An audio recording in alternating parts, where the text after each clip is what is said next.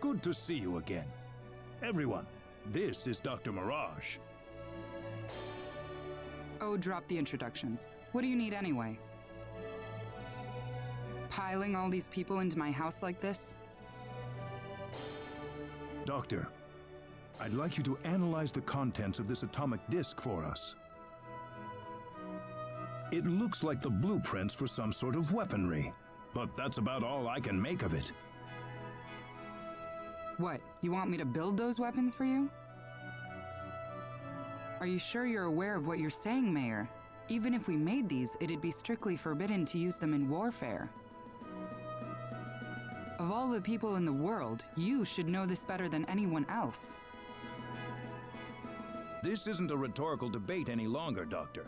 The Ten Wise Men are about to unleash the symbol of annihilation. The symbol of annihilation? How did that get into the hands of the Ten Wise Men? We don't have time to worry about that. We need you to figure out these weapons and build them for us, Mirage. I know you can do it. Here's the disc. Hmm. I suppose I can ask you for immunity from prosecution then, Mayor.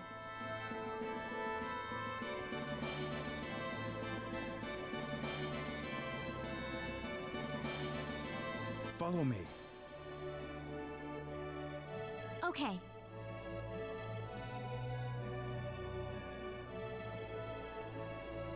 This is incredible. They're powerful enough to blow away a small moon, much less the Ten Wise Men. Um, what are? What else? Can't you see them on the monitor? But that's just a sword, isn't it? Well, they look like normal weapons, but they're made from anti-proton matter. Anti-proton matter? I thought that antiprotons couldn't exist in a stable state inside a normal space.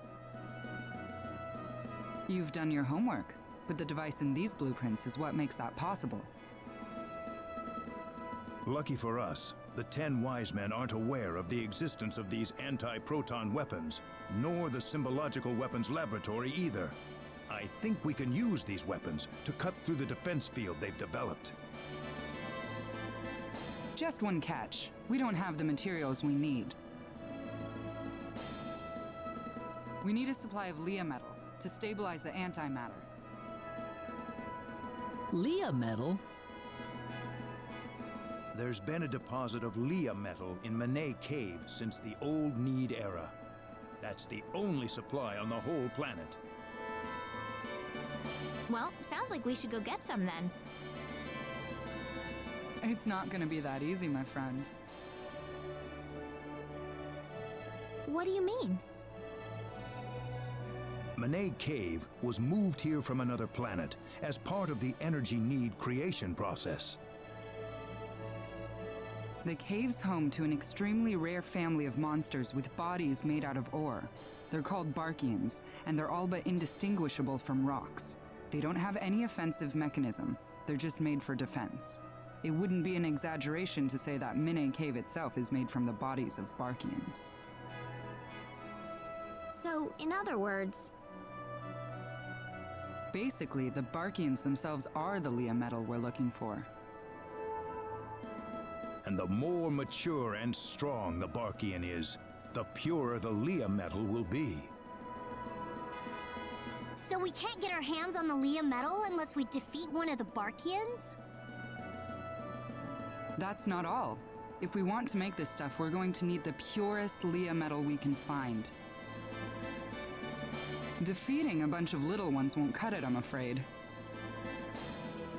We need a big, mature Barkian. Of course, it might wind up being more dangerous than the Ten Wise Men. So where's Monet Cave? Well, if we don't do anything, then the Ten Wise Men are gonna take over the universe. We'll have to give it a shot at least. Rena. She's right. It's too early to give up yet. All right. Minay Cave is on the island just west of Armlock.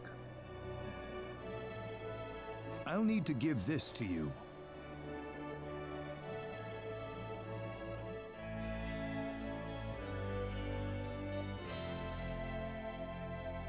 You'll need that to get into the cave. Good luck, everyone.